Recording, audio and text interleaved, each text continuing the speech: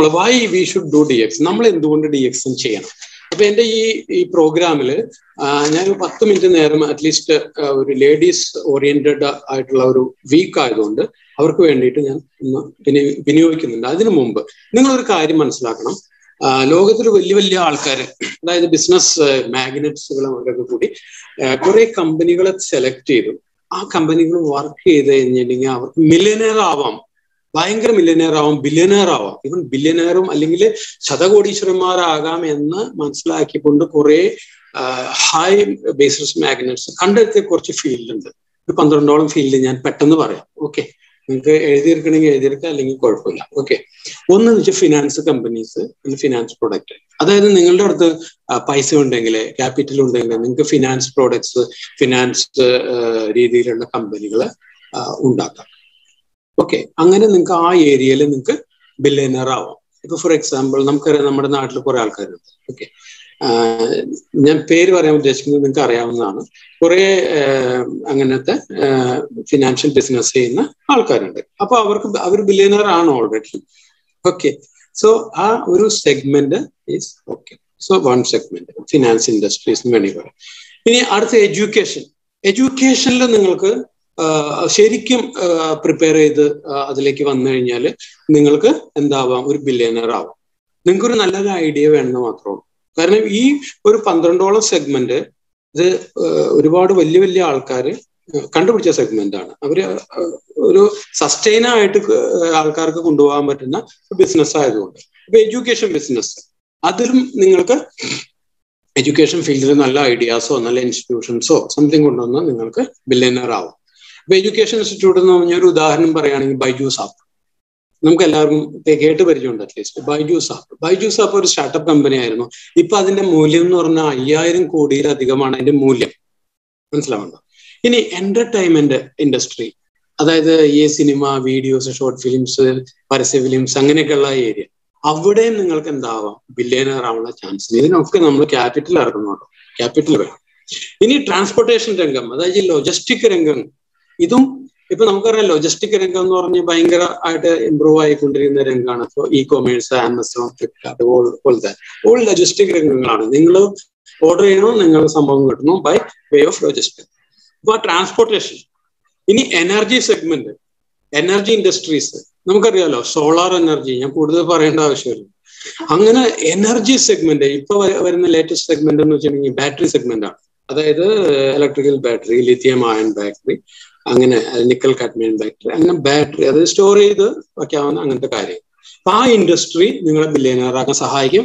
പക്ഷെ നിങ്ങൾക്ക് എന്ത് വേണം? ക്യാപിറ്റൽ ഇനി real estate and construction field അതിനെക്കുറിച്ച് ഞാൻ പ്രത്യേകിച്ച് പറയേണ്ട കാര്യമല്ല. Every Malayali knows it okay അപ്പൊ റിയൽ എസ്റ്റേറ്റിൽ വർക്ക് ചെയ്യുന്ന ആൾക്കാരും കൺസ്ട്രക്ഷൻ ഫീൽഡിൽ വർക്ക് ചെയ്യുന്ന ആൾക്കാർക്കൊക്കെ അവർക്ക് അറിയാൻ പറ്റും ഒരു കൺസ്ട്രക്ഷൻ ഫീൽഡ് നമ്മൾ ഉണ്ടാക്കി കഴിഞ്ഞാൽ എങ്ങനെ അപ്പൊ അതിനൊക്കെ കാര്യങ്ങൾ വേണം. ഇല്ലാന്നല്ല ഇനി നമ്മൾ പറയാൻ പോകുന്ന ഫുഡ് ഇൻഡസ്ട്രിയെ കുറിച്ചിട്ടാണ്. ഇപ്പൊ ഫുഡ് ഇൻഡസ്ട്രി ഈ ചിക്കൻ മാത്രം വിറ്റുകൊണ്ട് നമുക്കറിയാം. K F chicken Kentucky fried chicken അതേപോലെ കുറെ അങ്ങനെയുള്ള മക്ഡൊണാൾഡ്സ് പോലത്തെ only one one or two product വിറ്റുകൊണ്ട് ലോകവ്യാപകമായിട്ട് എന്തായി? അവർ ബില്യനേഴ്സ് ആയി. ആ കഥകളൊക്കെ നിങ്ങൾക്ക് അപ്പൊ ഫുഡ് ഇൻഡസ്ട്രിയിൽ ദർ ഈസ് എ ചാൻസ് ഇനി ഹെൽത്ത് കെയർ ഇൻഡസ്ട്രി അതായത് ഹോസ്പിറ്റൽസ് അല്ലെങ്കിൽ രോഗികൾക്ക് ആവശ്യമുള്ള ടെക് എക്യുപ്മെന്റ്സ് അങ്ങനത്തെ കാര്യങ്ങളും ഇതൊക്കെ ആയിട്ട് ഹെൽത്ത് കെയർ ഇൻഡസ്ട്രി തന്നെയുണ്ട് ആ ഇൻഡസ്ട്രി ബില്യനെയർ ഞാൻ ഇതൊക്കെ എന്തിനാ പറയുന്നതെന്ന് ഞാൻ പറഞ്ഞുതരാം. ഓക്കെ അപ്പൊ ഹെൽത്ത് കെയർ ഇൻഡസ്ട്രി ഇനി കംസ് വെൽനസ് ഇൻഡസ്ട്രി നമുക്ക് എല്ലാവർക്കും അറിയാം വെൽനസ് റെവല്യൂഷനെ കുറിച്ചിട്ട് അല്ലെ? അതായത് റീജുവിനേഷൻ വെൽനസ് റെവല്യൂഷൻ ഉള്ളത് ഓക്കെ ഞാൻ കുറച്ച് ഫാസ്റ്റ് ആയിട്ടായിരിക്കും പോകുന്ന സമയത്തിന്റെ പ്രശ്നമുണ്ട്.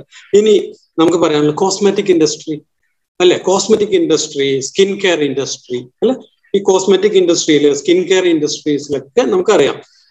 ഇതൊക്കെ എന്ന് വെച്ചിട്ടുണ്ടെങ്കിൽ ഒരുപാട് നമുക്ക് ബില്യനർ ആവാൻ പറ്റാവുന്ന പറ്റുന്ന രീതിയിലുള്ള ഒരു ഇൻഡസ്ട്രിയാണ് ഓക്കെ അവസാനം നമ്മൾ technology okay technology industry technology എന്താണ്? ടെക്നോളജിയിൽ ഒരുപാട് ഇൻഡസ്ട്രീസ് ഉണ്ട്. ഇപ്പൊ റോബോട്ടിക്സ് ഉണ്ട്. അല്ലെങ്കിൽ എ ഐ ഉണ്ട് ആർട്ടിഫിഷ്യൽ ഇന്റലിജൻസ് അങ്ങനെ ഒരുപാട് സംഭവങ്ങളൊക്കെ ഉണ്ട് ടെക്നോളജി ഇനി ഡി എക്സ് നിങ്ങൾ എന്തുകൊണ്ട് ചെയ്യണമെന്ന് ചോദിച്ചു കഴിഞ്ഞാൽ അതിന്റെ ആൻസർ ഞാൻ പറഞ്ഞു കേട്ടോ. ഇപ്പൊ നമ്മൾ പന്ത്രണ്ട് ഇൻഡസ്ട്രിയെ കുറിച്ച് പറഞ്ഞു.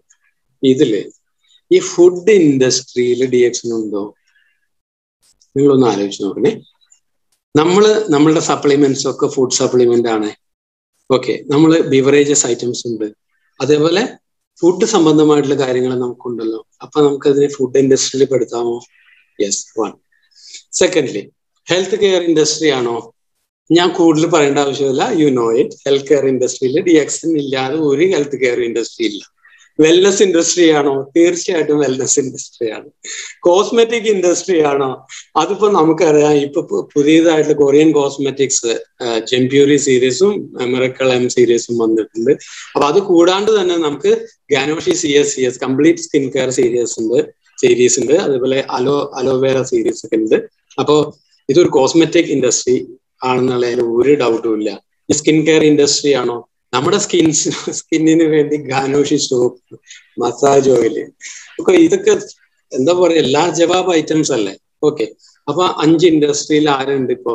ഡി എക്സിനുണ്ട് പിന്നെ അടുത്ത് ടെക്നോളജി ഇൻഡസ്ട്രി ഓക്കെ ടെക്നോളജി ഇൻഡസ്ട്രിയിൽ എങ്ങനെ ഡി എക്സ് സിങ്ക് ആവുമെന്ന് നമ്മളെ വൈക്കം പ്രദീപ് കുമാറിനോട് ചോദിച്ചാൽ അറിയാം.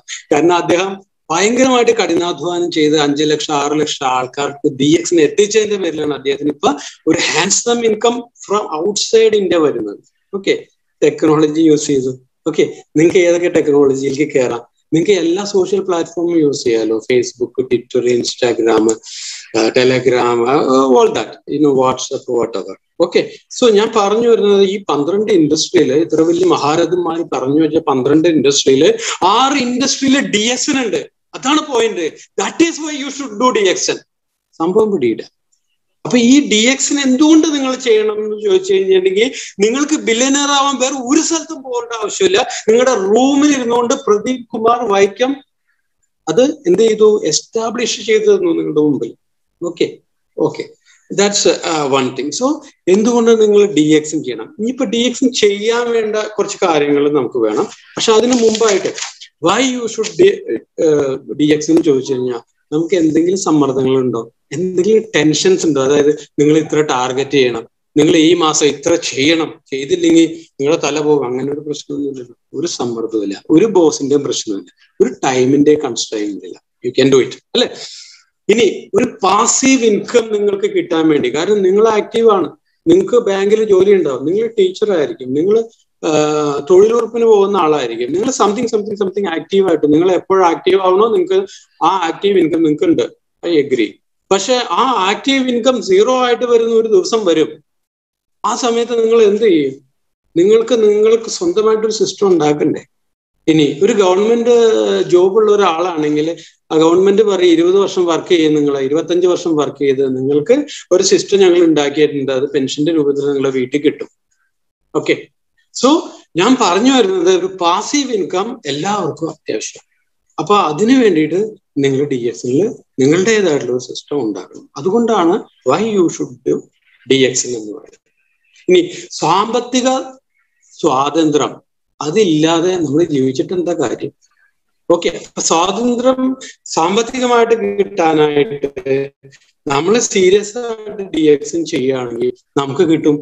അതിന് ഉദാഹരണമാണ് അമീറ എന്ന് പറഞ്ഞ ഒരു ലേഡി സൗദിയിൽ നിന്ന് അവർക്ക് സൗദിയിൽ നിന്ന് അവർ വീട്ടിൽ നിന്ന് പുറത്തിറങ്ങാൻ നിർത്തിയില്ല മീറ്റിംഗ് എടുക്കാൻ നിർത്തിയില്ല ഓൺലി ഡ്യൂ ടു ഓൺലൈൻ അവരെന്താ ചെയ്തത്? അവർ ക്രൗൺ അംബാസിഡർ ആയി. എത്ര നാൾ കൊണ്ട്? ട്വന്റി നയൻ മന്ത്സ് കൊണ്ട്. അതായത് രണ്ടര വർഷത്തിനുള്ളിൽ ഫസ്റ്റസ്റ്റ് ക്രൗൺ അംബാസിഡർ രണ്ട് ലക്ഷം റിയാലിൽ കൂടുതൽ അതായത് ഏതാണ്ട് ഒരു കോടിയോളം രൂപ. ഒരു എയ്റ്റി ലാക്സിലോളം രൂപ അവർക്ക് കിട്ടുന്ന രീതിയിൽ ഒക്കെ മാസം വരുമാനം കിട്ടുന്ന രീതിയിൽ അവരായി. അപ്പൊ അവർക്ക് അത്രയും കൺസ്ട്രെയിൻസിന്റെ അകത്ത് കിടന്ന് അവർക്ക് ചെയ്യാൻ കഴിഞ്ഞു അത്. ഇനി നിങ്ങൾക്ക് എങ്ങനെ ചെയ്യാൻ കഴിയുമെന്ന് ഞാൻ പറയാം. എനിക്ക് സമയം കിട്ടുകയാണെങ്കിൽ പറയാം അപ്പൊ ഇനി ധർമ്മശീല. ധർമ്മശീല മാഡം ആറ് വർഷം കൊണ്ട് ഇത് ചെയ്തില്ലേ?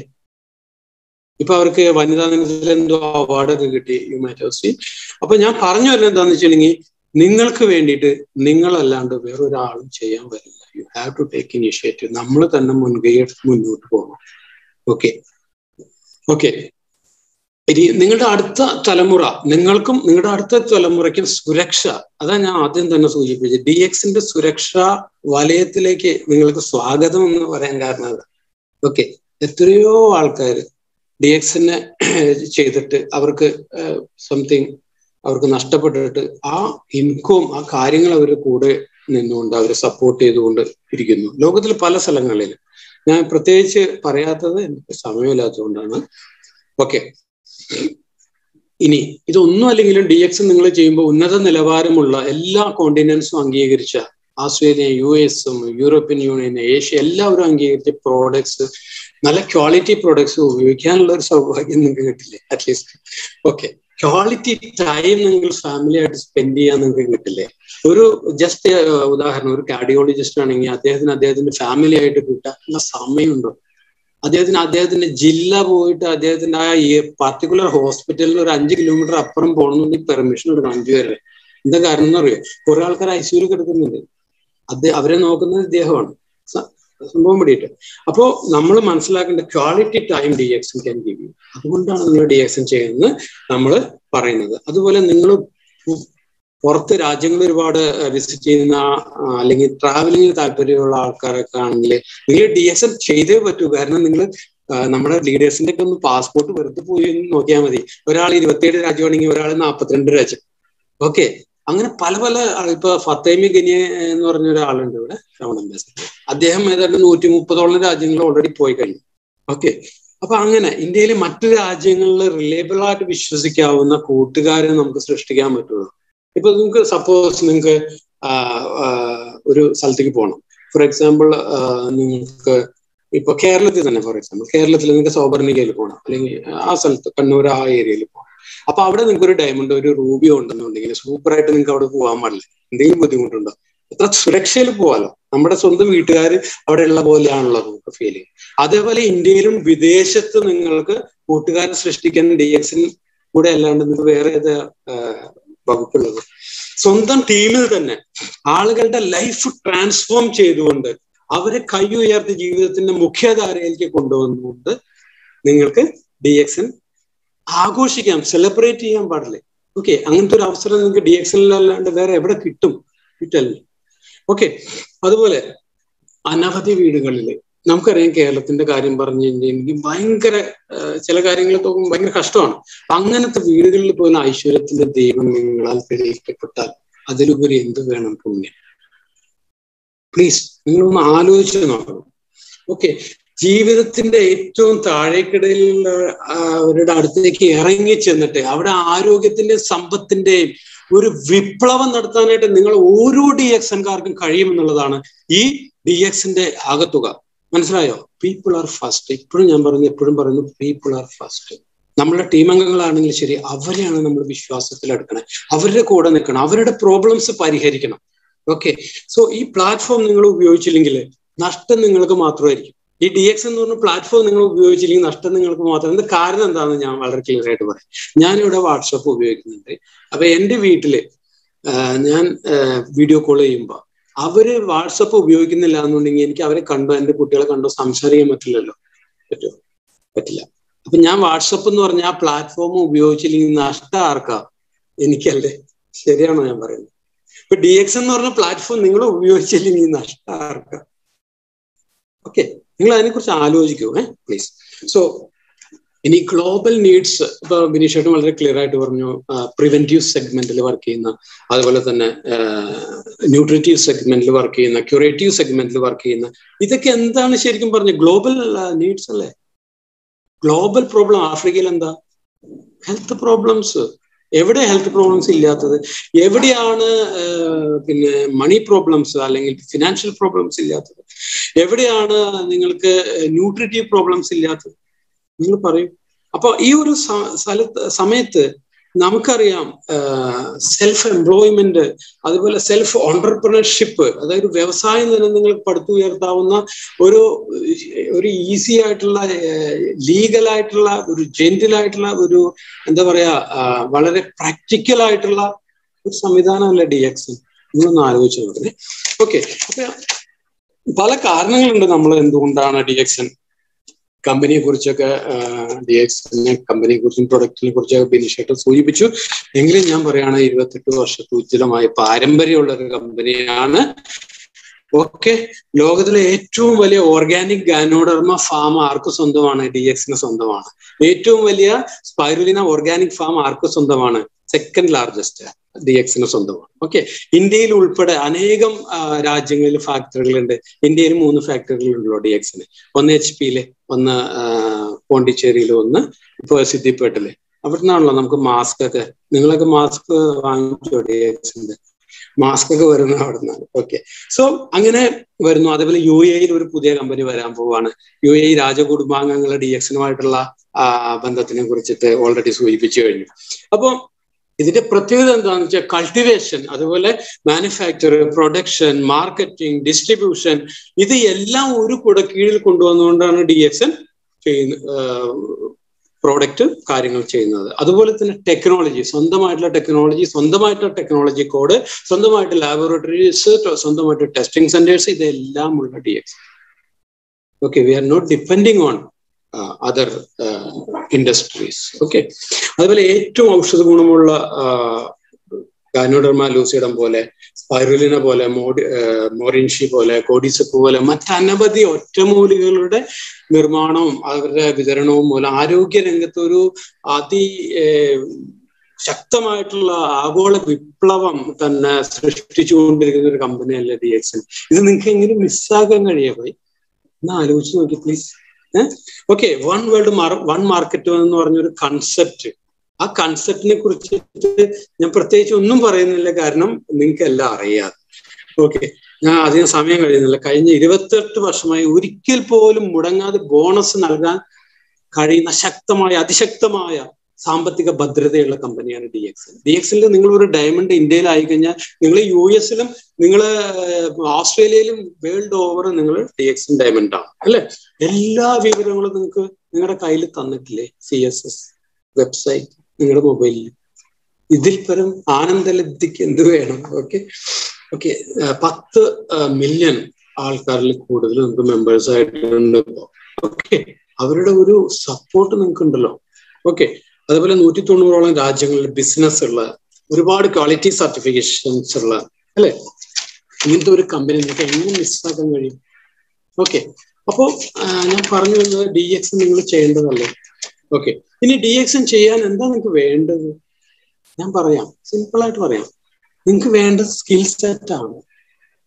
സ്കിൽ സെറ്റ് വേണം. പിന്നെ ഞാൻ ലേഡീസിന് കൊടുക്കുന്ന ഒരു ടൈമിൽ ഞാൻ പറയുന്നുണ്ട് സംതിങ് സ്കിൽ സെറ്റിൽ ഞാൻ ആദ്യം വേണ്ടി പറയുന്നത് എന്താണെന്ന് വെച്ചാൽ നിങ്ങൾക്ക് മറ്റുള്ളവരെ കൺവിൻസ് ചെയ്യിക്കാനുള്ള ഒരു കസ്റ്റമറിനെ അല്ലെങ്കിൽ പ്രോസ്പെക്റ്റിനെ ഒരു ക്ലോസിംഗ് സ്കില്ല് നിങ്ങൾ ഡെവലപ്പ് ചെയ്തെടുക്കും. ഇതൊക്കെ ഡെവലപ്പ് ചെയ്ത് ചെയ്തെടുക്കാവുന്ന കേട്ടോ. ഇത് നമ്മൾ ആരും ജനിച്ചപ്പോൾ തന്നെ കൊണ്ടുവരുന്ന സംഭവം ഒന്നുമല്ല നമ്മൾ ഒരാളെ കൺവിൻസ് ചെയ്യിക്കുക എങ്ങനെയാണെന്നുള്ള സ്കിൽസ് ഒക്കെ നിങ്ങൾ പഠിച്ചെടുക്കണം. ഇത് പഠിച്ചെടുക്കേണ്ട സംഭവമാണ്. ഓക്കെ ഇനി ഷോർട്ട് മെസ്സേജസ് വീഡിയോസ് അതായത് നിങ്ങൾക്ക് രണ്ട് മിനിറ്റ് കൊണ്ട് മസാജിനെ കുറിച്ച് പറയാൻ സാധിക്കും നിങ്ങൾക്ക് ഒരു മിനിറ്റ് കൊണ്ട് ടൂത്ത് പേസ്റ്റിനെ കുറിച്ച് പറയാൻ സാധിക്കും നന്നായിട്ട് എഫക്റ്റീവായിട്ട് അങ്ങനെയുള്ള കാര്യങ്ങൾ നിങ്ങൾ പ്രിപ്പയർ ചെയ്യണം. അതിന് നിങ്ങൾ ഹെൽപ്പ് എടുക്കണം. പ്രൊഫഷണൽ ഹെൽപ്പ് എടുക്കണം. ഇതാണ് സ്കിൽ സെറ്റ് എന്ന് ഞാൻ പറയുന്നത്. ഓക്കെ മൂന്നാമത്തെ സ്കിൽ എന്ന് പറഞ്ഞാൽ പബ്ലിക് സ്പീക്കിംഗ് സ്കില്ലാണ് പബ്ലിക് സ്പീക്കിംഗ് എങ്ങനെ നിങ്ങൾക്ക് പബ്ലിക്കിനോട് സംസാരിക്കാൻ കഴിയുന്നുള്ള സ്കില്ലാണ് അത് നിങ്ങൾക്ക് ഉണ്ടാക്കി എടുക്കാൻ എടുക്കാവുന്ന കാര്യമുള്ളൂ. ഓക്കെ അതിനുവേണ്ടി നിങ്ങൾ തുനിഞ്ഞിറങ്ങണം. ഓക്കെ അതുപോലെ തന്നെ അടുത്തൊരു പോയിന്റ് എന്ന് പറഞ്ഞാൽ എനിക്ക് പറയാനുള്ളത് പ്രിയോറിറ്റി അറേഞ്ച്മെന്റ് സ്കിൽസ് ആണ്. നിങ്ങളുടെ ടീമിൽ എന്താണ് ആദ്യം ചെയ്യേണ്ടത്? എന്താണ് രണ്ടാമത് ചെയ്യേണ്ടത്? ഇത് നിങ്ങൾക്ക് അറിഞ്ഞിരിക്കണം. നിങ്ങളുടെ കോർ ആയിട്ടുള്ള ആ ആൾക്കാർ മേ ബി നിങ്ങളുടെ star agency star rupees whatever diamonds ഇവരെ കൂട്ടി നിർത്തിക്കൊണ്ട് അവർക്ക് അടുത്ത ആക്ഷൻ പ്ലാൻ അവരെ ക്ലിയർലി കമ്മ്യൂണിക്കേറ്റ് ചെയ്യണം. അവർക്കൊരു ഡൗട്ട് വരാൻ പാടില്ലാത്ത രീതിയിൽ കമ്മ്യൂണിക്കേറ്റ് ചെയ്യണം. ഇതാണ് സ്കിൽ സെറ്റ് ഞാൻ ഉദ്ദേശിക്കുന്നത്. അതർ സ്കിൽ സെറ്റ് എന്ന് പറയുന്നത് ടൈം മാനേജിങ് സ്കിൽ നിങ്ങളുടെ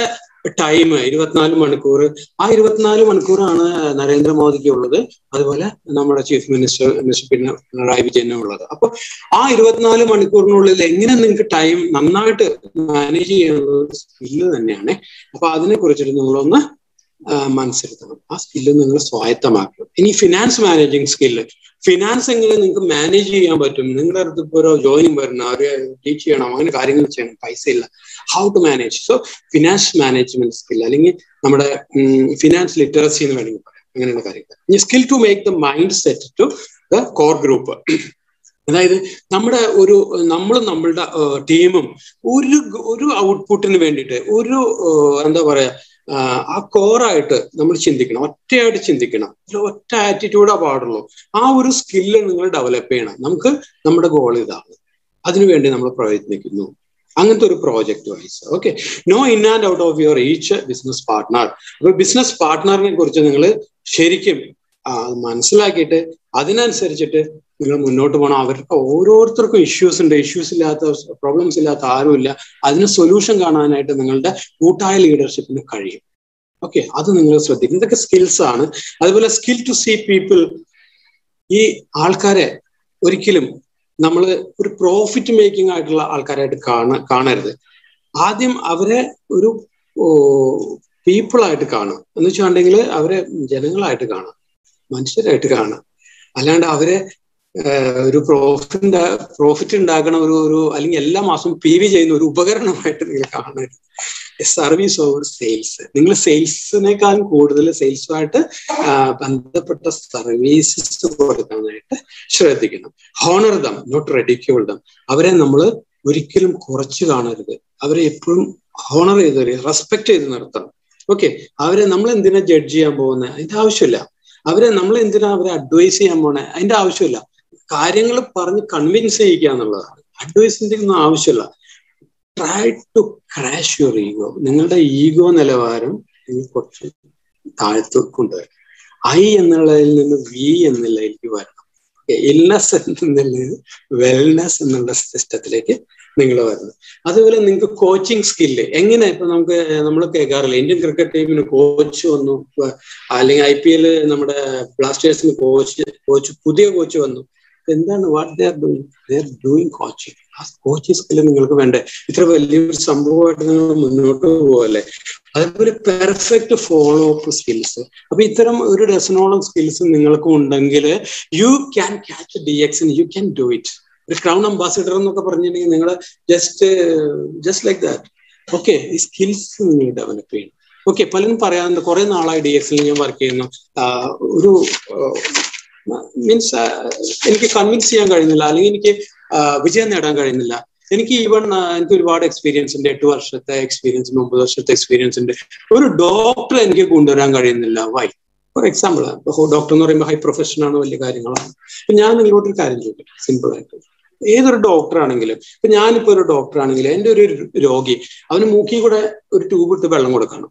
അല്ലെങ്കിൽ ഗ്ലൂക്കോസ് കൊടുക്കും വാട്ടർ ലിക്വിഡ് ഫുഡ് കൊടുത്തുകൊണ്ടിരിക്കുകയാണ്. അപ്പൊ ഞാൻ എന്നൊരു ഡോക്ടർ ആണെന്നുണ്ടെങ്കിൽ ഞാൻ എന്റെ ഫസ്റ്റ് പ്രയോറിറ്റി എന്തായിരിക്കും?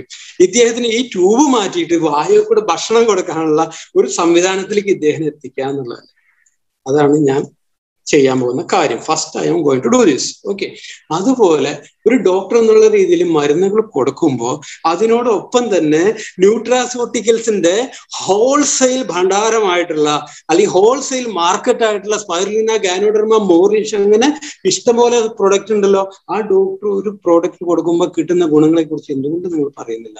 അപ്പൊ ഡോക്ടറുടെ അടുത്ത് ഒരു പേഷ്യൻസ് വന്നു കഴിഞ്ഞാൽ ഒരു നമുക്കറിയാം ചില ഡോക്ടേഴ്സിന് ഒരുപാട് പേഷ്യൻസ് ഉണ്ട് അല്ലെ? അപ്പൊ അവർ വന്നു കഴിയുമ്പോൾ അവർക്ക് ഒരു സ്പൈറലിന ഒന്ന് എഴുതി കൊടുത്തു കഴിഞ്ഞാൽ അവരുടെ ആ അവർക്ക് ഒരുപാട് അതിന്റെ സൈഡ് എഫക്ട് കംപ്ലീറ്റ് മാറിയിട്ട് ഒരുപാട് ഗുണങ്ങൾ പ്രത്യേകം റിസൾട്ട് പെട്ടെന്ന് കിട്ടുകയല്ലേ ചെയ്യുന്നത്? പറയുന്നത് മനസ്സിലാവുന്നുണ്ടോ? അപ്പൊ അങ്ങനെ അവരോടൊന്ന് പറഞ്ഞു നോക്കിയാൽ നിങ്ങൾ നിങ്ങൾ ഇതുവരെ പറഞ്ഞിട്ടുണ്ടോ? ന്യൂട്രാസോട്ടിക്കൽസ് അപ്പൊ നിങ്ങൾക്ക് പേടിയാണ്. എന്തുകൊണ്ടാണ് നിങ്ങൾക്ക് പേടി വരുന്നത്? പേടി വരാനായിട്ട് ആകെ ഒരു റീസണേ ഉള്ളൂ. കാരണം പേടി നിങ്ങൾ തമ്മിൽ ഒരു ഒരു സ്പേസ് ഉണ്ടാവും. അപ്പൊ ആ സ്പേസ് ഇല്ലാത്ത സമയത്ത് അതായത് ടൈം ആൻഡ് സ്പേസ് എന്ന് പറയാം. അപ്പൊ ടൈമും സ്പേസും ഇല്ലാത്ത സമയത്ത് നിങ്ങളുടെ പിടി മാറി. ഫിയർ ഓഫ് ഡൂയിങ് ആയിട്ട് എന്നുള്ള ഫിയർ ഓഫ് ഫെയിലിയർ എന്നൊക്കെ പറയും അല്ലെ? ഇപ്പൊ നമ്മൾ വൈകുന്നേരം പോകുന്നു ഒരു കയറ് എടുക്കണുണ്ടോ? അപ്പൊ നമ്മൾ പാമ്പാണോ എന്നൊരു പേടി. ഏ? അപ്പൊ നമ്മുടെ അടുത്തൊരു ടോർച്ച് ഉണ്ട്. അതായത് നമ്മുടെ മൊബൈലിലൊക്കെ ടോർച്ച് ഉണ്ടല്ലോ. മൊബൈൽ ടോർച്ച് എടുത്ത് നോക്കിയപ്പോ അതൊരു കയറാണ്. അപ്പൊ നമ്മുടെ പേടി മാറി. എന്താ കാരണം? നമ്മളും ആ കയറും തമ്മിൽ ആ നമ്മൾ പേടിച്ച ആ സാധനവും തമ്മിൽ ഡിസ്റ്റൻസ് ഇല്ലാണ്ടായി സ്പേസ് ഇല്ലാണ്ടായി. നമുക്ക് മനസ്സിലായി. ഓൾ ഓഫ് എസ് സൈഡ് നമുക്ക് മനസ്സിലായി. എന്ത് മനസ്സിലായി? അതൊരു കയറാണ് പാമ്പല്ല എന്നുള്ളത് മനസ്സിലായി. അതുപോലെ തന്നെ പല ആൾക്കാരും നിങ്ങളെ പേടിപ്പിച്ചിട്ടുണ്ടാവും. ആ റൂമിലേക്ക് പോകരുത്. അത് ഭയങ്കര പ്രശ്നമാണ്. അവിടെ ഭൂതമുണ്ട്. അല്ലെങ്കിൽ അങ്ങനെയൊക്കെ സംതിങ് ദാറ്റ് കുറ്റാ കൂരിരുട്ടാണ്. അപ്പൊ നിങ്ങളുടെ മനസ്സിൽ ഒരു പേടി ഓൾറെഡി ഡെവലപ്ഡ് ആണ്. ഓക്കെ ആ പേടി മാറാൻ നിങ്ങൾ എന്ത് ചെയ്യണം? ഒരു സ്വിച്ചിന്റെ അകലേ ഉള്ളൂ. എന്താ കാരണം എന്ന് അറിയാം? നിങ്ങൾ ആ റൂമിലേക്ക് പോയിട്ട് ആ ലൈറ്റിന്റെ സ്വിച്ച് ഇട്ട് കഴിഞ്ഞാൽ ലൈറ്റ് ഫുള്ളായി അവിടെ ഇരുട്ട് പോയി. ലൈറ്റ് ഉള്ളപ്പോ ഇരുട്ടിൽ നിൽക്കാൻ പറ്റില്ല. പറ്റുമോ പറ്റില്ല. ഇരുട്ടുള്ളപ്പോ ലൈറ്റിൽ നിൽക്കാൻ പറ്റുമോ പറ്റില്ല. ലൈറ്റ് ഇല്ല അവിടെ. ലൈറ്റ് ഉണ്ടെങ്കിൽ ഇരുട്ടില്ല. ദാറ്റ് ഈസ് ശൂന്യം. അത് ഒരു വേറെ ലെവലാണ് okay will discuss later about that ഇപ്പൊ ഞാൻ പറഞ്ഞു വന്നത് നിങ്ങൾക്ക് പേടി എന്നുള്ള സംഭവം ആവശ്യമില്ല. കാരണം ഗാനോഡർമയെ കുറിച്ച് ഡി എക്സിനെ കുറിച്ച് നിങ്ങളെടുത്തോളം അറിവുള്ള ആൾക്കാര് മീൻസ് പബ്ലിക്കിൽ ഇല്ല. ഡി എക്സ് പ്രവർത്തകരല്ലാതെ വേറെ ആൾക്കാരില്ല. അപ്പൊ നിങ്ങൾക്ക് ധൈര്യമായിട്ട് പറയാം. You are number one in all this okay ഇനി എനിക്ക് തോന്നുന്നു ടൈമിന്റെ ഒരു കൺസേൺസ് ഉണ്ട്. അതുകൊണ്ട് ഞാൻ കുറച്ച് ലേഡീസിന് വേണ്ടിയിട്ട് ഒന്ന് രണ്ട് മൂന്ന് പോയിന്റ്സ് പറഞ്ഞിട്ട് സ്റ്റോപ്പ് ചെയ്യാം. ശ്യാംജി എൻ കേസ് ടൈം കൂടുതലാവണേ എന്ന് പറയണേ. നമുക്ക് എത്ര സമയമുണ്ട് ഇനി? കേട്ടില്ല കേട്ടോ ക്ലിയർ ആയില്ല. സമയമുണ്ട് സമയമുണ്ട് സമയമുണ്ട് okay okay. Okay why ladies അപ്പൊ ഞാൻ ഈ അന്തർദേശീയ വനിതാ ദിനത്തോട് അനുബന്ധിച്ചിട്ട് നമുക്ക് കിട്ടിയ ഒരു അവസരത്തിൽ അവരെ നമ്മൾ ഉൾക്കൊള്ളിച്ചുകൊണ്ട് ഒരു ഒരു സെപ്പറേറ്റ് ഒരു ഒരു മേ ബി ഒരു ടെൻ മിനിറ്റ്സ് അവർക്ക് വേണ്ടിയിട്ട് ഞാൻ എന്തുകൊണ്ട് ലേഡീസ് ഇത് ചെയ്യണം എന്നുള്ളതാണ് ഡി എക്സൻ ചെയ്യണം ഏഹ് ഓക്കെ എല്ലാ ലേഡീസും നിങ്ങൾ ശരിക്കും കേൾക്കുക നമുക്കറിയാം ഒരുപാട് ലേഡി ക്രൗൺ അംബാസിഡേഴ്സ് ഉണ്ടായിക്കൊണ്ടിരിക്കുന്ന കാലഘട്ടമാണിത്. You don't miss it okay നിങ്ങൾ മിസ് ചെയ്യാൻ പാടില്ല. കാരണം മറ്റ് ലോകത്തെ എവിടെ ഞാൻ ഒരുപാട് രാജ്യങ്ങൾ വർക്ക് ചെയ്തിട്ടുണ്ട്. മറ്റെവിടെയും ഇല്ലാത്ത എന്താ പറയാ ഒരു ഒരു പവർഫുൾനെസ് നമ്മുടെ ലേഡീസിനുണ്ട് കേരളത്തിലെ ലേഡീസിനുണ്ട് അപ്പൊ അതുകൊണ്ട് ഞാൻ കുറച്ച് ക്വസ്റ്റ്യൻസ് നിങ്ങളോട് ആദ്യം ചോദിക്കാം. ഓക്കെ ഉത്തരം എല്ലാത്തിനും ഒന്ന് തന്നെയാണ്. അത് നിങ്ങൾക്കൊക്കെ അറിയാം. ഞാൻ പ്രത്യേകിച്ച് പറയേണ്ട ആവശ്യമില്ല. ഇത് ലേഡീസ് മാത്രമല്ല ജെൻസും കേൾക്കണം. ഓക്കെ ഏറ്റവും കൂടുതൽ സംസാരിക്കുന്നത് ആരാണ്? വേൾഡ് വൈഡ് നോക്കിക്കഴിഞ്ഞാൽ സ്ത്രീകളാണോ പുരുഷന്മാരാണോ? ആൻസർ നിങ്ങൾക്കറിയാം. ഓക്കെ ഇനി ഏറ്റവും കൂടുതൽ ഷോപ്പിംഗ് ചെയ്യുന്ന ആൾക്കാരാണ് ആരാണ്? ഓക്കെ അപ്പൊ നിങ്ങൾ എന്തുകൊണ്ട് ഡി എക്സൻ ചെയ്യണം? നമ്മൾ വിടിയിട്ടുണ്ട് അത് അതിനെക്കുറിച്ച് പറയാൻ വേണ്ടിയിട്ടാണ് കേട്ടോ ഞാനിത് പറയുന്നത്. അപ്പൊ ആരാണ് കൂടുതൽ സംസാരിക്കുന്നത്? നമുക്ക് എല്ലാവർക്കും അറിയാം. അപ്പൊ ലേഡീസ് എന്തുകൊണ്ട് ഈ ഡി എക്സൻ ചെയ്യണം എന്നതിനെ കുറിച്ച് ഞാൻ സൂചിപ്പിക്കുന്നത് ഏറ്റവും കൂടുതൽ ഷോപ്പ് ചെയ്യുന്നവരാണ്. വീട്ടിലുള്ളവരുടെയും കുട്ടികളുടെയും എല്ലാ കാര്യങ്ങളും അറിയാവുന്നത് ഹസ്ബൻഡിനായിരിക്കോ വൈഫിനായിരിക്കും അമ്മയ്ക്കായിരിക്കും അച്ഛനായിരിക്കും. നിങ്ങൾക്ക് ആൻസർ കിട്ടി അല്ലെ? വീട്ടിലുള്ള ഓരോ കുട്ടികളുടെ കാര്യമാണെങ്കിലും ലേഡീസിന്റെ കാര്യമാണെങ്കിലും വലിയ ആൾക്കാരുടെ കാര്യങ്ങൾ ആർക്കറിയാം? കുടുംബിനിക്കറിയാം അല്ലെങ്കിൽ വീട്ടിലെ സ്ത്രീക്കറിയാം. വീട്ടിൽ ആര് എന്ത് ഭക്ഷണം കഴിക്കണമെന്ന് ആര് തീരുമാനിക്കും? ഏത് കാപ്പി കുടിക്കണമെന്ന് ആര് തീരുമാനിക്കും? കുട്ടികൾക്ക് കൊക്കോഷി വേണോ? അതോ വേറെ എന്തെങ്കിലും ബ്രാൻഡ് വേണോ എന്ന് ആര് തീരുമാനിക്കും? നിങ്ങൾക്കറിയാം. ഞാൻ എന്തുകൊണ്ട് ലേഡീസ് ഇതിലേക്ക് വരണം എന്നുള്ളതിനെ കുറിച്ച് പറയാണ് കേട്ടോ ഇനി ഈ ജോലി ഇല്ലാത്ത സ്ത്രീകൾ അപ്പോ അവരെ കുറിച്ച് പറയുമ്പോ സത്യം പറഞ്ഞാൽ അവർ ഒരുപാട് ജോലി ചെയ്യുന്നുണ്ട്. ഓക്കെ. പക്ഷെ അവർ അവർ നമ്മൾ പ്രത്യേകിച്ച് പറയുന്ന ഒരു വേർഡാണ് ഹൗസ് വൈഫ് അല്ലെങ്കിൽ കുടുംബിനി എന്നൊക്കെ പറയും.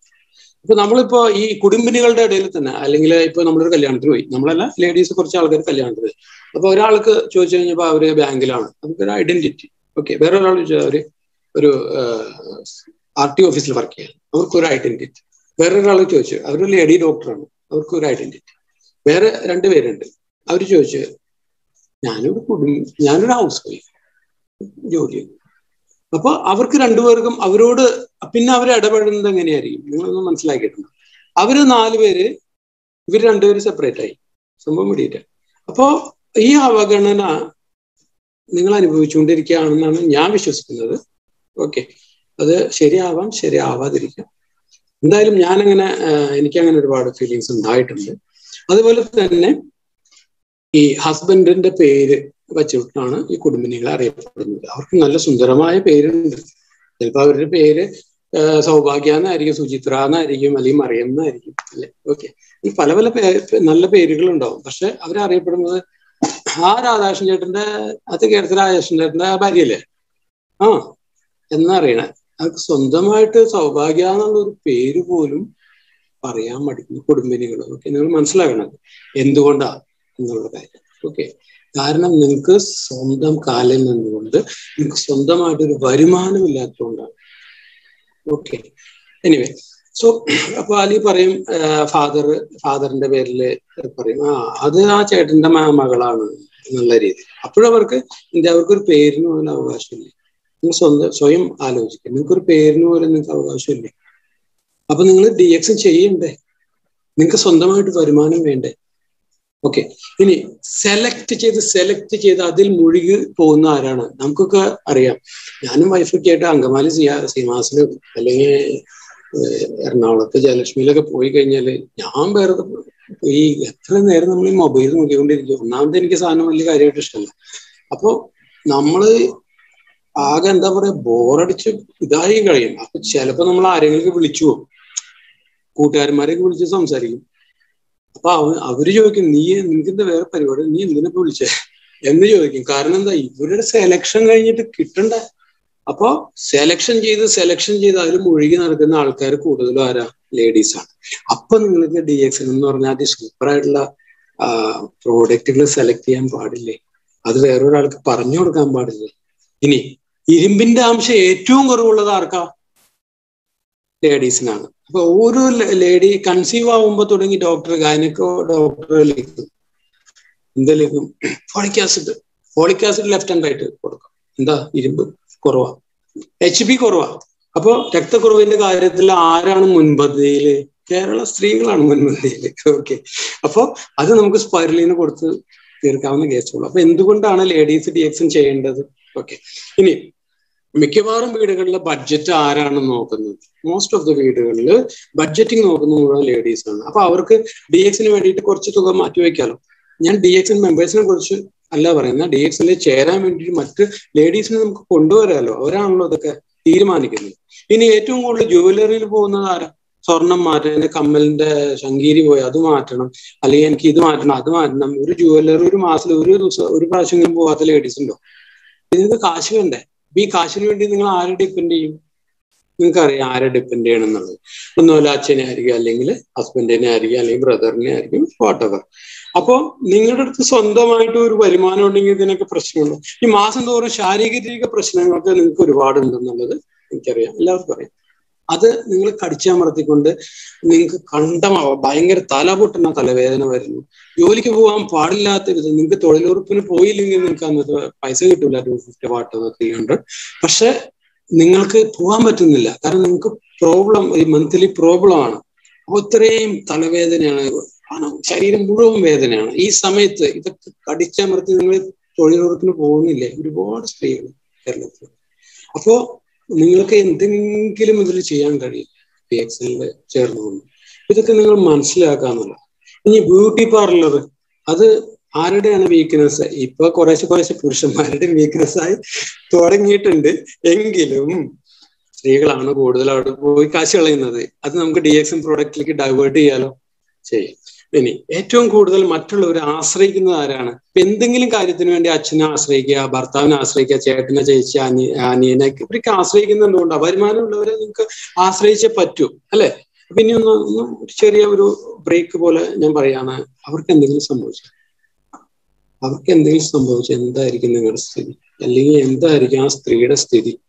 ഹസ്ബൻഡ് എന്തോ ആക്സിഡന്റ് പറ്റു കിടപ്പായി ബെഡിൽ എഴുന്നേൽക്കാൻ പറ്റുന്നില്ല. വാട്ട് യു ആർക്ക് എന്ത് സംഭവിക്കാം? ഓക്കെ സോ എനിക്ക് ഇന്നലെ ഇതേപോലെ എനിക്ക് രണ്ടു പ്രാവശ്യമാണ് ഒരു സങ്കടം വന്നൊരു സംഭവം ഉണ്ടായത്. ഒന്നെന്ന് പറഞ്ഞാൽ ആ വാളയാറിലെ അമ്മ യുനോ അവർ തല മുണ്ടനം ചെയ്തത് ഒരു സ്ത്രീയെ സംബന്ധിച്ചോളം മുടിയെന്ന് പറഞ്ഞാൽ യുനോ ഓക്കെ അതുപോലെ ഈ റീസെന്റ് ഒരു ലതിക സുഭാഷ് എന്ന് പറഞ്ഞ ഒരു ലേഡി അപ്പൊ അവർ ഏതാണ്ട് ഒരു നാൽപ്പതിലധികം വർഷങ്ങൾ ഒരു ഇൻസ്റ്റിറ്റ്യൂഷന് വേണ്ടി ഒരു പ്രസ്ഥാനത്തിന് വേണ്ടി ഒരുപാട് ചോദ്യം തീരുമാനിക്കിയിട്ട് അങ്ങനത്തെ വെച്ചാൽ ഞാൻ പറഞ്ഞു വന്നത് എന്തുകൊണ്ടാ? അംഗീകരിക്കപ്പെടുന്നില്ല സ്ത്രീകൾ അല്ലെ? ശരിയല്ലേ? അപ്പൊ അത് നിങ്ങൾക്ക് മാറ്റിയെടുക്കണ്ടേ? അത് മാറ്റിയെടുക്കാൻ വേണ്ടി ഏതെങ്കിലും പുരുഷന്മാർ വന്നിട്ട് അത് മാറ്റിയെടുക്കുമോ നിങ്ങൾക്ക് വേണ്ടി നിങ്ങൾ എന്തെങ്കിലും ചെയ്യണ്ടേ? ഇന്നൊന്ന് ഇതിനെക്കുറിച്ച് ആലോചിക്കൂ. മറ്റുള്ളവരെ പറഞ്ഞു മനസ്സിലാക്കാൻ നിങ്ങളെ പോലെ കഴിവുള്ളവർ വേറെ ആരുള്ളത് എന്ന് പറയൂ. സ്ത്രീകളെക്കാളും കൂടുതൽ മറ്റുള്ളവർ പറഞ്ഞു മനസ്സിലാക്കുക എന്നുള്ള ഒരു ഒരു പ്രക്രിയ ഒരു കൗൺസിലിംഗ് അല്ലെങ്കിൽ അങ്ങനത്തെ ഒരു കാര്യം ചെയ്യാൻ പറ്റുന്നത് നിങ്ങൾ. ഇനി അവസാനമായിട്ടുള്ള ഒരു കാര്യം കൂടി എനിക്ക് പറയാനുള്ളത്. ദൈവികമായിട്ടുള്ള ഗുണങ്ങൾ ദൈവം കനിഞ്ഞ് അനുഗ്രഹിച്ചു തന്നിട്ടുള്ള നിങ്ങൾക്കാണ്. അതായത് സ്നേഹം കരുണ അനുകമ്പ ദയാവായ്പ് ദാനം ചെയ്യുന്നതിനുള്ള മനസ്സ് ആർക്ക് കൂടുതൽ സ്ത്രീകൾക്കാണ്. അപ്പൊ നിങ്ങൾക്ക് ഡി എക്സും ചെയ്യാൻ പാടില്ലേ? ഫന്റാസ്റ്റിക് ആയിട്ട് നിങ്ങൾക്ക് ഡി എസ് ചെയ്യാം. നിങ്ങൾ ചെയ്തിട്ട് കഴിഞ്ഞിട്ട് അവസാനമാണ് പുരുഷന്മാർക്കൊക്കെ ഈ ഏരിയയിലേക്ക് ഇറങ്ങാൻ പറ്റുള്ളൂ. ഓക്കെ അപ്പൊ നിങ്ങൾ ചെയ്യണം എല്ലാവരും. ഓക്കെ ഇനി എനിക്ക് പറയാനുള്ള ഒരു കാര്യം എന്ന് വെച്ചിട്ടുണ്ടെങ്കിൽ ഇതെങ്ങനെ നമുക്ക് പ്രവർത്തിക്കാം? അതിന് ഫണ്ടമെന്റൽസ് നമ്മൾ മനസ്സിലാക്കും what is the fundamentals of നമ്മൾ തുടങ്ങാനായിട്ട് ചെയ്യാനായിട്ട് ഫണ്ടമെന്റൽസ് ആണ് ഇപ്പൊ ബിലീഫ് ബിലീഫ് എന്ന് പറഞ്ഞു കഴിഞ്ഞിട്ടുണ്ടെങ്കിൽ അട്ടമെന്റ്ലി ബിലീഫ് വേണം. വിശ്വാസമാണ് അതെല്ലാം അല്ല? ഓക്കെ പക്ഷെ വിശ്വാസം സ്ട്രോങ് ആയിരിക്കണം. ആ സ്ട്രോങ് എന്ന് പറഞ്ഞു കഴിഞ്ഞിട്ടുണ്ടെങ്കിൽ ഗാന്ധിജി അദ്ദേഹത്തിന്റെ വിശ്വാസം പറഞ്ഞു നോൺ വയലൻസ് അദ്ദേഹം നേടി തന്നില്ലേ? ആ വിശ്വാസം അഡമന്റ് ആയിട്ടുള്ള വിശ്വാസം. നിങ്ങളുടെ വിശ്വാസം നിങ്ങൾക്ക് എക്സ്പാൻഡ് ചെയ്യാൻ കഴിയുന്നില്ല? നിങ്ങൾക്ക് ലൈഫ് എക്സ്പാൻഡ് ചെയ്യാൻ പറ്റില്ല. ആ വിശ്വാസം വേണം നിങ്ങൾക്ക് ഇപ്പൊ ഒരു ചെറിയൊരു ഇൻസിഡന്റ് പറയുകയാണെങ്കിൽ ഒരു കഥയാണ് രണ്ട് ഒരു ഒരു മിനിറ്റ് കൊണ്ട് തീർക്കാവുന്നുള്ളൂ ഒരു ഗ്രാമത്തിൽ മഴ പെയ്യുന്നില്ല. ഭയങ്കര പ്രശ്നങ്ങൾ. ആൾക്കാർ പൂജയും കാര്യങ്ങളൊക്കെ നടത്തി പെയ്യുന്നില്ല അപ്പൊ അവിടെ ഒരു ഒരു ഒരു സന്യാസി വന്നു. അപ്പൊ സന്യാസി പറഞ്ഞു ഒരു കാര്യം ചെയ്യേ. നമുക്കൊരു പരിഹാരം ഉണ്ടാക്കാം. ഒരു ഒരു വലിയ പൂജ നടത്തണം. എല്ലാവരും പുഷ്പങ്ങളും മറ്റു കാര്യങ്ങളൊക്കെ ആയിട്ട് വരണം. അപ്പൊ ഇന്ന ദിവസമാണ് പൂജ. അപ്പൊ പൂജ മൂന്ന് മണിക്കൂറുണ്ട്. അപ്പൊ പൂജ കഴിഞ്ഞു കഴിഞ്ഞാൽ മഴ പെയ്യും. എന്ന് പുള്ളി ഉറപ്പ് തരാണ്. അങ്ങനെ അന്നത്തെ ദിവസം വരെയാണ്. അന്നത്തെ ദിവസം ഒന്ന് പൂജ തുടങ്ങാണ്. പൂജ എല്ലാവരും പുഷ്പങ്ങളും പഴങ്ങളും മറ്റു കാര്യങ്ങളും ഇതൊക്കെ പൂജ തുടങ്ങി. അങ്ങനെ ഒരു മണിക്കൂർ കഴിഞ്ഞു രണ്ട് മണിക്കൂർ കഴിഞ്ഞു മൂന്ന് മണിക്കൂർ കഴിഞ്ഞു. എന്ത് സംഭവിച്ചു? മൂന്ന് മണിക്കൂറുകൾ കഴിഞ്ഞ് പൂജ കഴിഞ്ഞപ്പോഴേക്കും ഭയങ്കര അതി അതിഗംഭീരമായ മഴയാണ്. അപ്പൊ ഏതാണ്ട് ഒരു നൂറ് നൂറ്റമ്പതോളം പേര് ആ ഗ്രാമീണർ അവിടെ ഉണ്ടായിരുന്നു അതിൽ ഒരു കൊച്ചു കുട്ടിയുടെ ഒരു നാല് വയസ്സായ ഒരു കൊച്ചു കുട്ടിയുടെ കയ്യിൽ മാത്രം കൊടയുണ്ടായിരുന്നു. ആ കുട്ടി മാത്രമായിരുന്നു വിശ്വസിച്ചത് ഇന്നും മഴ പെയ്യും. കാരണം ആ സന്യാസി പറഞ്ഞിട്ടുണ്ട് മഴ പെയ്യുന്നു അതുകൊണ്ട് അവർ എൽ കെ ജി പോണ ആ കുട്ടി ആ കുട്ടിയുടെ കൂടെയായിട്ട് വന്നു. ദാറ്റ് കോൾഡ് വിശ്വാസം. സംഭവം കൂടിയിട്ട് ഓക്കെ ഇനി അടുത്തതായിട്ട് നമ്മുടെ കൂടെയുള്ള ആൾക്കാരെ ബിസിനസ് പാർട്ട്നേഴ്സിനെ നമ്മൾ ഒരു പീപ്പിൾ ആയിട്ട് കരുതരുത്. നമ്മൾ അവരെ ഒരു ജസ്റ്റ് ലൈക്ക് ഒരു ആളായിട്ട് കരുതരുത്. അവർ നമ്മളുടെ ബിസിനസ് പാർട്ട്നേഴ്സ് ആണ്. അവർ നമ്മളെ പോലെ തന്നെ ഇമ്പോർട്ടന്റ് ആയിട്ടുള്ള ആൾക്കാരെ എന്ന് കരുതി വേണം നമ്മൾ അവർക്ക് മുൻഗണന കൊടുക്കണം. ഓക്കെ മുൻഗണന പ്രയോറിറ്റിയാണ് നമ്മൾ കൊടുക്കേണ്ടത്. ഓക്കെ അപ്പൊ ഈ ഒരു ഇതിൽ നിങ്ങൾക്ക് എങ്ങനെ ഡി എക്സിനെ കൂടെ അല്ലെങ്കിൽ ലൈഫിൽ നിങ്ങൾക്ക് എങ്ങനെ ഉണ്ടമനം ഉണ്ടാക്കാൻ ബേസിക്സ് ആയിട്ടുള്ള ഫണ്ടമെന്റൽസ് ഞാൻ പറഞ്ഞുകൊണ്ട് ഞാൻ സ്റ്റോപ്പ് ചെയ്യാം. അപ്പോൾ സെൽഫ് കോൺഫിഡൻസ് നിങ്ങൾ കേട്ടിട്ടുണ്ടാവും സെൽഫ് കോൺഫിഡൻസ് എന്ന് പറഞ്ഞാൽ ആത്മവിശ്വാസമാണ്. അത് അതിന്റെ അർത്ഥമാണ്. ഈ ആത്മവിശ്വാസത്തിൽ എന്തൊക്കെ വരും എന്ന് പറയും ഒന്ന് എന്ന് പറഞ്ഞാൽ സെൽഫ് എഫിക്കസി അതായത് ഐ ക്യാൻ ഡു എന്നുള്ള ഒരു സംഭവം. അതായത് വില്ലിങ്നെസ് അല്ലെങ്കിൽ ആറ്റിറ്റ്യൂഡ് എന്ന് പറയും. നമുക്കത് ചെയ്യാനുള്ള ഒരു ഒരു വില്ലിങ്നെസ് വേണമല്ലോ. അത്. രണ്ടാമത്തെ കാര്യം എന്ന് പറഞ്ഞു കഴിഞ്ഞിട്ടുണ്ടെങ്കിൽ നമുക്ക് സം റെസ്പോൺസിബിലിറ്റീസ് ഉണ്ട്. അതിന് നമ്മൾ പറയുന്നത് എങ്ങനെയാ വെച്ചിട്ടുണ്ടെങ്കിൽ ഐ ക്യാൻ ഡു ഇറ്റ് എന്ന് പറഞ്ഞാൽ ആ സെൽഫ് എഫിക്കസി പോലെ തന്നെ സെൽഫ് റെസ്പോൺസിബിലിറ്റി ഉണ്ട്. ആ റെസ്പോൺസിബിലിറ്റി എന്ന് പറഞ്ഞാൽ എന്താണ്? ഈ സെൽഫ് കോൺഫിഡൻസിൽ പെടുന്ന കാര്യങ്ങളാണത്. ആദ്യത്തെ കാര്യം എന്ന് വെച്ചിട്ടുണ്ടെങ്കിൽ വില്ലിങ്നെസ് ടു ഡു അല്ലെങ്കിൽ ഐ ക്യാൻ ഡു എന്നുള്ളൊരു ഫീലിംഗ് ഇത്രയൊക്കെ പറഞ്ഞ സ്ഥിതിക്ക് ത്രീ ഒന്ന് ചെയ്തു നോക്കാം. Let see what will happen ഇങ്ങനെയാണ് I can do it self responsibility എന്ന് പറഞ്ഞാൽ രണ്ടാമത്തെ പോയിന്റ് ആ പോയിന്റിൽ രണ്ട് മൂന്ന് പോയിന്റ് ഉണ്ട്. അതിലൊരു പോയിന്റ് ആണ് നിങ്ങൾക്ക് മാത്രമേ നിങ്ങളുടെ ആഗ്രഹങ്ങളും സ്വപ്നങ്ങളും നേടാൻ അല്ലെങ്കിൽ പൂർത്തീകരിക്കാനായിട്ട് നിങ്ങൾക്ക് കഴിയുള്ളൂ. നിങ്ങൾ അതിന് മുന്നിട്ട് ഇറങ്ങണം. വേറൊരു മനുഷ്യരെ നിങ്ങൾ വന്നിട്ട് പറയില്ല. എന്താ പറയില്ല?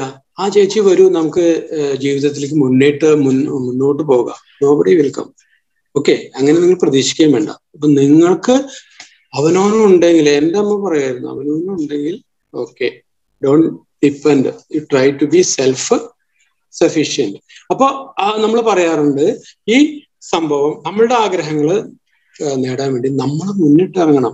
ആ ഒരു ഇനീഷ്യേറ്റീവ് നമ്മൾ അത് ചെയ്യേണ്ടി വരും. ഓക്കെ ഇനി your work is your responsibility നിങ്ങളുടെ വർക്ക് നിങ്ങളുടെ റെസ്പോൺസിബിലിറ്റിയാണ് നിങ്ങളിപ്പോ ഒരു വെൽഡർ ആയിരിക്കാം. ആ വെൽഡർ ആകുമ്പോ ആ വെൽഡിങ് നന്നായിട്ട് നിങ്ങൾ ചെയ്തില്ല എന്നുണ്ടെങ്കിലോ നിങ്ങളെ ആൾക്കാർ നോക്കുന്നുണ്ട് വീക്ഷിക്കുന്നുണ്ട്. നിങ്ങളുടെ ക്വാളിറ്റി വർക്ക് അല്ലെങ്കിൽ you will not be called നിങ്ങൾ പിന്നെ വീണ്ടും വിളിക്കില്ല. So your work is your responsibility സംഭവം മനസ്സിലായോ? അപ്പോൾ സെൽഫ് കോൺഫിഡൻസിൽ വരുന്ന ഫസ്റ്റ് പോയിന്റ് ആണ് എന്ത്? ഐ ക്യാൻ ഡു ഇറ്റ് അല്ലെങ്കിൽ വില്ലിങ്നെസ് അടുത്ത പോയിന്റ് ആണ് സെൽഫ് റെസ്പോൺസിബിലിറ്റീസ് അതിൽ വരുന്ന ഒരു പോയിന്റ് ആണ് നമ്മളുടെ ആഗ്രഹങ്ങളും സ്വപ്നങ്ങളും നമ്മൾ തന്നെ മുന്നിട്ട് ഇറങ്ങി ചെയ്യണം എന്നുള്ളത്. രണ്ടാമത്തെ കാര്യം എന്താണ്?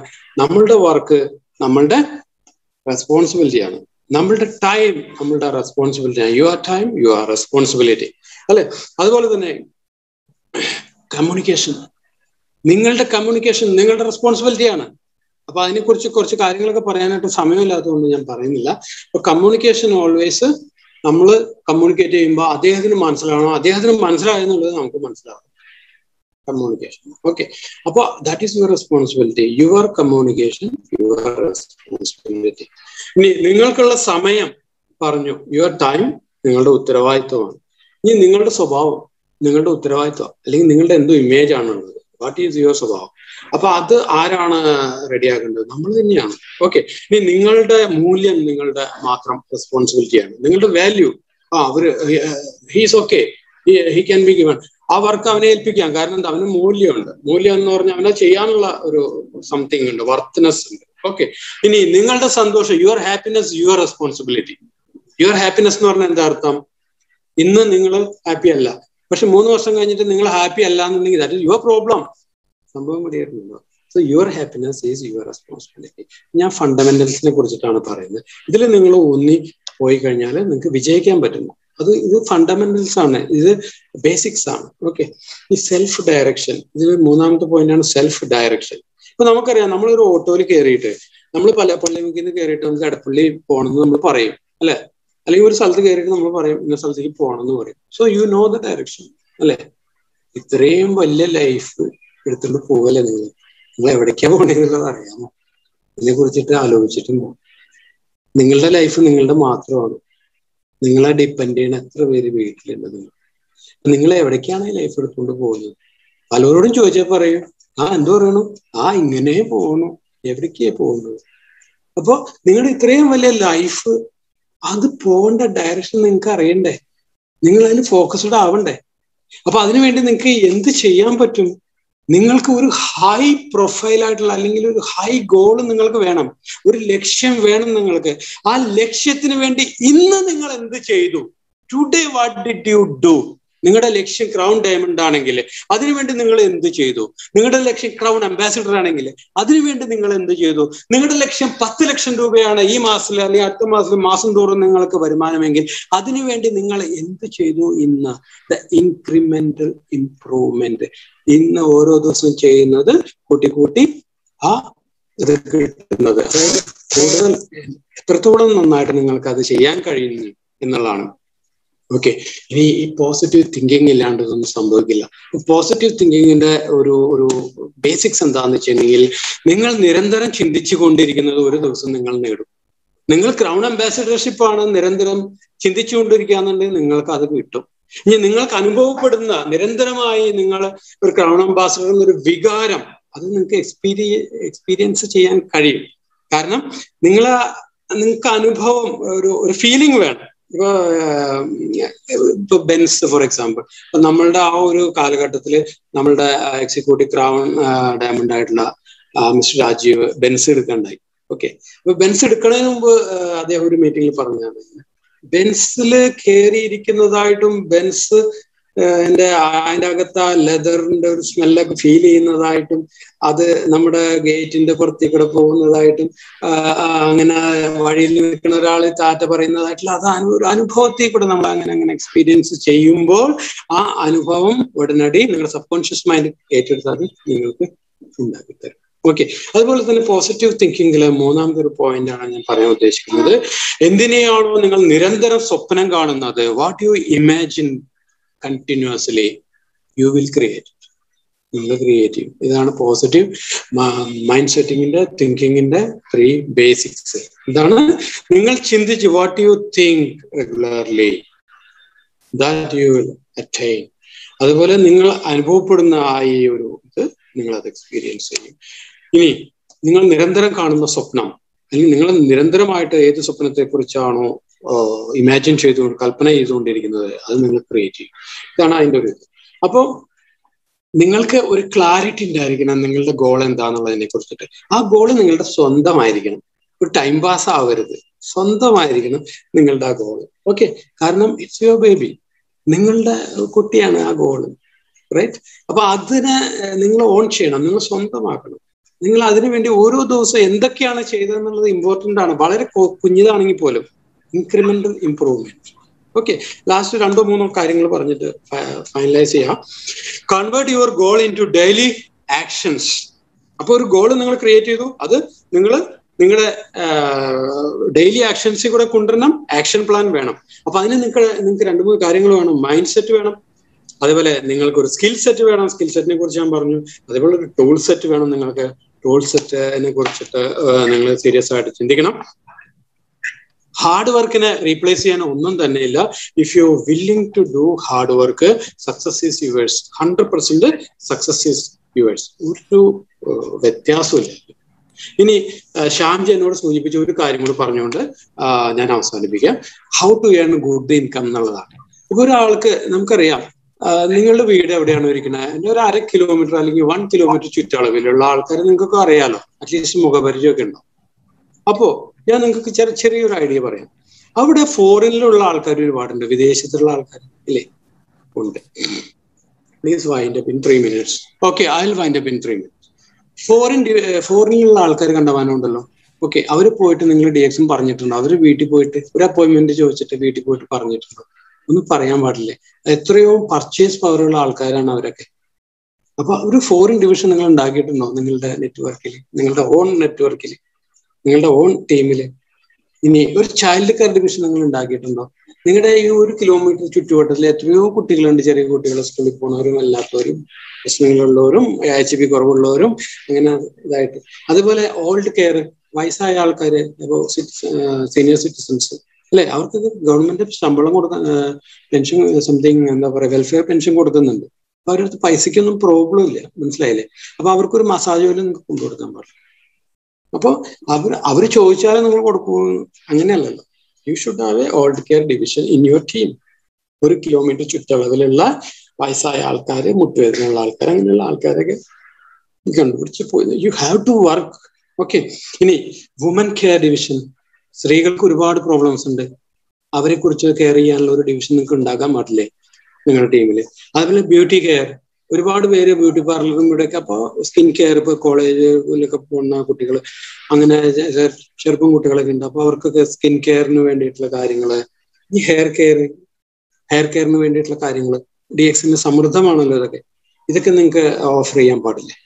യു കെൻ ഡു ഇറ്റ് അല്ലെ? അപ്പൊ നമ്മൾ മനസ്സിലാക്കേണ്ട കാര്യം എന്ന് വെച്ചിട്ടുണ്ടെങ്കിൽ ഡി എക്സിൽ ഒരു വലിയ ഇൻകം നിങ്ങൾക്ക് നേടണം എന്നുണ്ടെങ്കിൽ നമ്പർ ഓൾവേസ് കൗണ്ട്സ് കാരണം നിങ്ങൾ ഒരുപാട് ബിസിനസ് പാർട്ട്നേഴ്സിനെ നിങ്ങൾ നിങ്ങളുടെ ടീമിൽ കൊണ്ടുവന്നതാണ് അത് something like seventy thirty percent seventy percent അങ്ങനത്തെ ഒരു അതായത് പത്ത് പേരെ നിങ്ങൾ എടുത്തു കഴിഞ്ഞാൽ മൂന്ന് പേരെങ്കിലും നിങ്ങളുടെ കൂടെ ഉണ്ടാവും. പക്ഷെ പത്ത് പേർക്ക് നിങ്ങൾ ഡി എക്സൻ നിങ്ങളുടെ മെമ്പറായി കിട്ടിക്കഴിഞ്ഞാൽ ഒരു മൂന്ന് പേരൊക്കെയാണ് നമ്മൾ പ്രതീക്ഷിക്കേണ്ടതുള്ളൂ. ഏഴ് പേര് കൊഴിഞ്ഞു പോകും എന്നുള്ളതാണ് ഈ നെറ്റ്വർക്ക് മാർക്കറ്റിംഗിൽ വരുന്ന ഒരു ആട്രിബ്യൂഷൻ ലെവൽ ഓക്കെ അപ്പൊ പത്ത് പേരിൽ മൂന്ന് പേരെങ്കിലും കിട്ടും നിങ്ങൾക്ക്. അപ്പൊ അതിനനുസരിച്ചിട്ട് നിങ്ങൾ ഇപ്പൊ ഞാൻ പറഞ്ഞല്ലോ വൈക്കം പ്രദീപ് കുമാർ അഞ്ചു ലക്ഷം ആറ് ലക്ഷം ആൾക്കാരിലേക്ക് ചെന്നപ്പോഴാണ് അദ്ദേഹത്തിന് ഏതാണ്ട് ഒരു നാൽപ്പതിനായിരം അമ്പതിനായിരം ആൾക്കാരൊക്കെ കൂടി അദ്ദേഹത്തിന്റെ കാര്യങ്ങളൊക്കെ ശ്രദ്ധിച്ചു തുടങ്ങിയത് ഓക്കെ സോ നൗ ആ ഒരു കാര്യം അതായത് ദ നമ്പർ കൗണ്ട്സ് അപ്പൊ നിങ്ങൾ ഒരു നൂറ് പേര് നിങ്ങൾ കൊണ്ടുവന്നു കഴിഞ്ഞാൽ നിങ്ങൾക്ക് ഒരു മുപ്പത് മുപ്പത്തഞ്ച് നാൽപ്പത് പേരൊക്കെ നിങ്ങൾക്ക് ശരിക്കും കിട്ടും. അല്ലെ? ഓക്കെ അപ്പൊ ആ ഒരു കാര്യം ശ്രദ്ധിക്കുക. ഇനി ഡി എക്സ് എൽ നിങ്ങൾക്ക് ഏൺ ചെയ്യണമെന്നുണ്ടെങ്കിൽ നിങ്ങൾ ഹോം മീറ്റിംഗ്സ് എടുക്കണം. ഒരു ദിവസം നാല് ഹോം മീറ്റിംഗ്സ് നിങ്ങൾ എടുക്കണം. രണ്ടെണ്ണം ബിഫോർ ന്യൂൺ അതായത് ഉച്ചയ്ക്ക് ഊണിന് മുമ്പ്. രണ്ടെണ്ണം ആഫ്റ്റർനൂൺ അതായത് സന്ധ്യയ്ക്ക് മുമ്പ്. അപ്പോൾ നമ്മൾ ശ്രദ്ധിക്കേണ്ട കാര്യം എന്ന് വെച്ചാൽ ഹോം മീറ്റിംഗ് ഒരുപാട് ടൈം വേസ്റ്റ് ചെയ്യേണ്ട ആവശ്യമില്ല. ഒരു ഹോം മീറ്റിംഗിന് വേണ്ടി ഒരു ദിവസം മുഴുവനോ just one hour home meeting അതിനുള്ള ഒരുക്കങ്ങൾക്ക് വേണ്ടി അനദർ വൺ അവർ അപ്പൊ ടു അവേഴ്സ് അപ്പൊ രാവിലെ നമ്മൾ എട്ട് മണിക്ക് വീട്ടിൽ നിന്ന് ഇറങ്ങി കഴിഞ്ഞിട്ടുണ്ടെങ്കിൽ എട്ടും നാലും പന്ത്രണ്ട് ഒരു മണിയാകുമ്പോഴേക്കും നിങ്ങളുടെ രണ്ട് മീറ്റിംഗ് കഴിയും.